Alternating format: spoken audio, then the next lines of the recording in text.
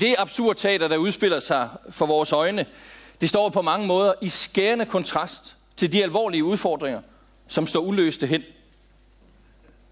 Altså lige nu har koalitionen bag regeringen jo mere travlt med at bekrige hinanden, end at lede landet. Den blå såkaldte blok er åbenlyst ude af stand til at tage ansvar for noget som helst. Og derfor siger jeg, jamen så lad os da få et valg, så vi kan få luften renset og installeret et arbejdsdueligt flertal hellere før end siden.